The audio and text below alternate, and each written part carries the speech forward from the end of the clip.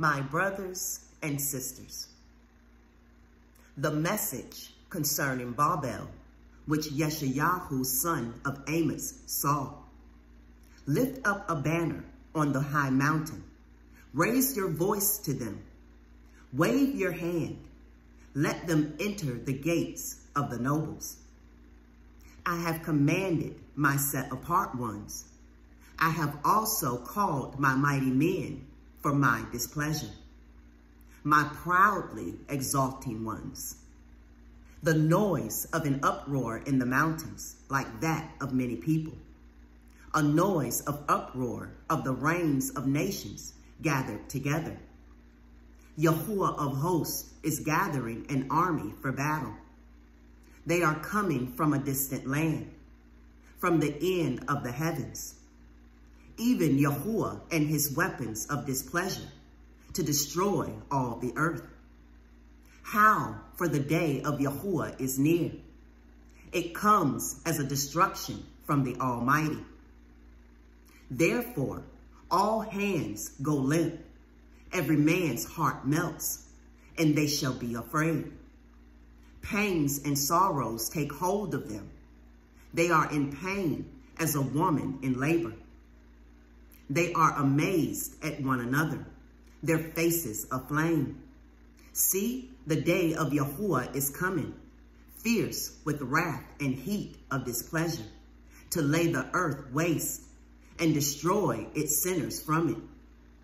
For the stars of the heavens and their constellations do not give off their light. The sun shall be dark at its rising, and the moon not send out its light.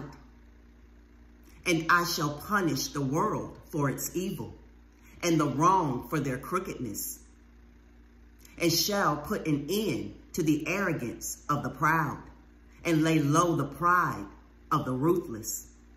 I shall make mortal man scarcer than fine gold, and mankind scarcer than the gold of Ophir. So I shall make the heavens tremble, and the earth shall shake from her place. In the wrath of Yahuwah of hosts, and in the day of the heat of his displeasure. And it shall be as the hunted gazelle, and as a sheep that no man takes up. Every man turns to his own people, and everyone flees to his own land.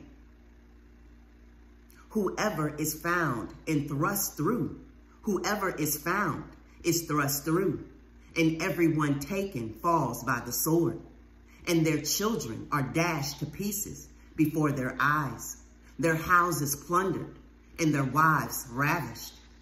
See, I am stirring up the Medes against them, who do not regard silver, and as for gold, they do not delight in it.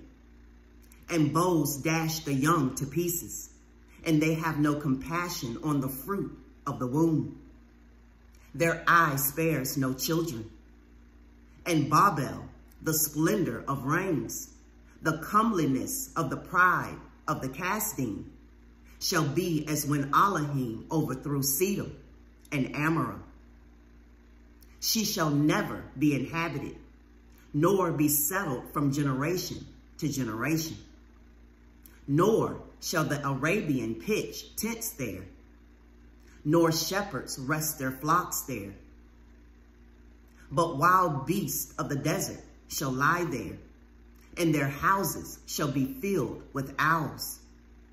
And ostriches shall dwell there, and wild goats frolic there.